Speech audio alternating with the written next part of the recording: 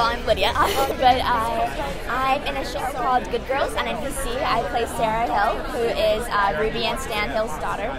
And I love playing Sarah because she's just such a strong, independent, and powerful girl. And even through her sickness in the first and second se- and the first and second season, um, it didn't let she didn't let it get her down. Like you know, she was still the same Sarah she would be without the sickness, and I think that's what I really admire about her. How old are you, Lidya? I'm 13. Yeah. Have you been in love? My family. Yeah, that's great. but tonight we will see a wonderful movie about Yes. to fall in love. yes. Uh, what do you know about the movie?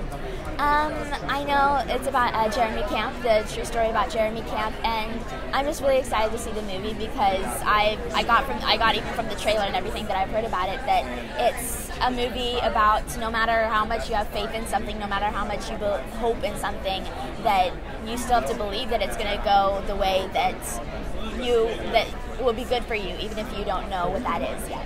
What are you believing? Um, sorry. What are do you believing? How do you mean? What are you believing?